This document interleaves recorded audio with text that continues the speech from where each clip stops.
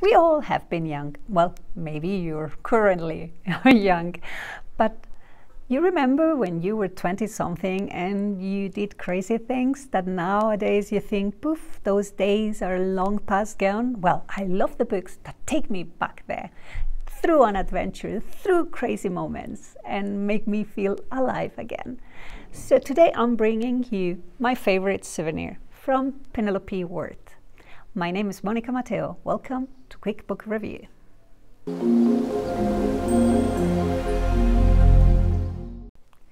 Hazel finds herself stuck in a blizzard with no hotel room when she spots Mateo lying to get himself a, a room.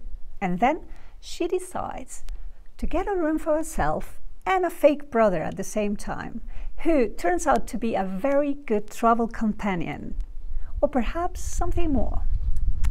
I truly enjoyed this book. I don't know if it was because her fight trying to find herself back or because uh, the pull and push through the story the chemistry between the characters the excitement the fake names the adventures the end result is that i went through a roller coaster of emotions and reading this book and i if you decide to read it i hope you will go through a roller coaster of emotions too that's why i give this book one of those rare, rare, rare scores.